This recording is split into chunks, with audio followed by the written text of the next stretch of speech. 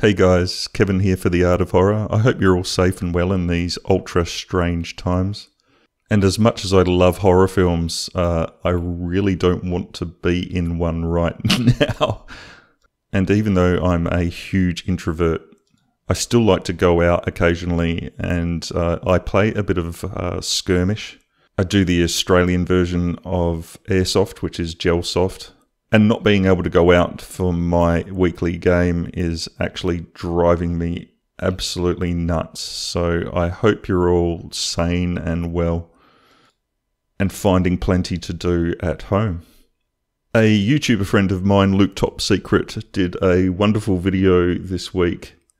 It was titled The Top 10 Things the Art of Horror Should Draw. And I was really flattered by this really nice video Luke made. And if you haven't checked out his channel yet, please do. He's a naturally funny guy. He likes playing lots of retro computer games. And he is very much into horror movies as well, especially older horror movies, which impresses me greatly for a younger person. So, amongst Luke's many suggestions for the top 10 things I should draw, the one thing that stood out to me was The Phantom. And while he's not a horror icon. As Luke states in his video, the Phantom relies on psychological fear to scare the absolute bejesus out of criminals, as the bad guys often think he is an actual ghost. As Luke did such a wonderful job with his video, and I know the Phantom is Luke's favourite, in these trying times I wanted to do something to cheer the guy up, so I decided to draw the Phantom and the Phantom is actually a uh, favourite of mine and holds a very special place in my heart. My aunt Judy, who is passed away now sadly, got me into the Phantom comics as a child. And while she lived interstate, every time they came to visit in their caravan, I would have such a wonderful time with my Aunt Jude comparing our Phantom collections and going over the storylines and just reading them together. So I dedicate this drawing to not just Luke, but to my late Aunt Jude. God bless her. She was a character and a half. She was a typical Aussie, all of five foot tall, and the sort of lady you would not want to mess with. I did reference a picture for this video, but not pictures of the Phantom. I found a picture of a guy wielding two handguns. But the actual picture of the Phantom himself, I drew completely from memory. So if I get any of the details wrong, as usual, please don't sweat me on this, as I did not reference it at all. The Phantom was, of course, created by the great Lee Falk, for the adventure comic strip The Phantom, which debuted in newspapers on February 17, 1936. The Phantom was later depicted in many forms of media, including television shows, movies, and video games. In the jungles of the fictional African country of Bangalla, there is a myth featuring the ghost who walks, a powerful and indestructible guardian of the innocent and fighter of all types of injustice. Because he seems to have existed for generations, many believe him to be immortal. In reality, the Phantom is a legacy hero, descended from 20 previous generations of crime fighters, who all adopt the same persona. When a new Phantom takes the task from his dying father, he swears the oath of the skull. I swear to devote my life to the destruction of piracy, greed, cruelty, and injustice in all their forms and my sons and their sons shall follow me.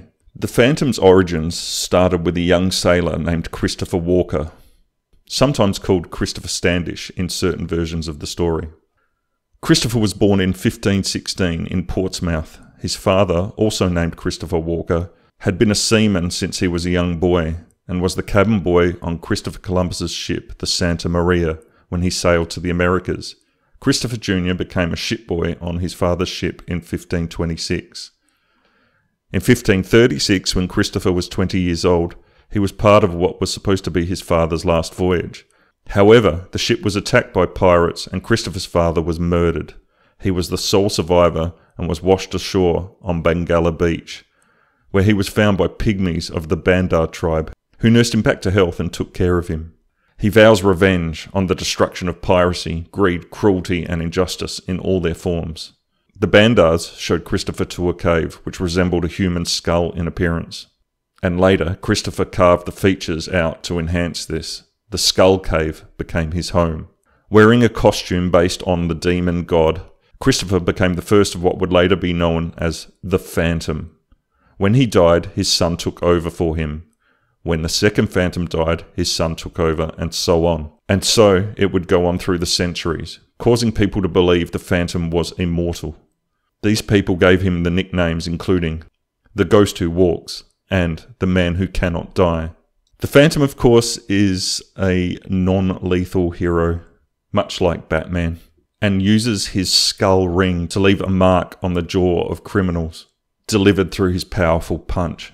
The Phantom at one point was created by two artists here in Australia, Dave DeVries and Glenn Lumsden. I was lucky enough as a young 13 year old to hang out with these guys and actually witness them drawing the comic, which was a great learning experience at the time.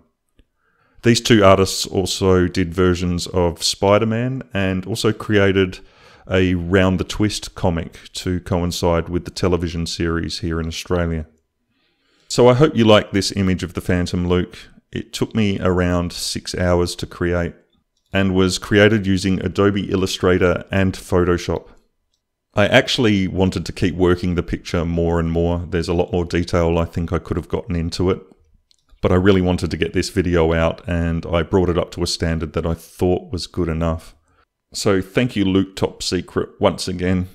I'll leave a link for Luke's channel in the comments below. I would actually really like to thank the horror community at large at the moment. We all seem to be banding together and helping each other out through this particularly difficult time. Especially Evil Stevel, who I will leave a link for his channel in the comments below if you want to send Evil Stevel some love. And a lot of guys and girls in the horror community are producing some great stuff during this lockdown period. So stay strong, people. Stay safe. Hope you, your friends, and all your family members are safe during this difficult time. I will be uploading some retro videos from my previous channel this week as well. And I have some Doom gameplay captured that I am ready to upload as well. So there's plenty more videos coming this week. I'll be working on some more artwork very soon as well. If you have any suggestions for anything you'd like to see me draw, please leave it in the comments below and I will consider your request. Look after yourselves, people. This has been Kevin for The Art of Horror. Goodbye for now. Thank you for watching. Rate, comment, subscribe.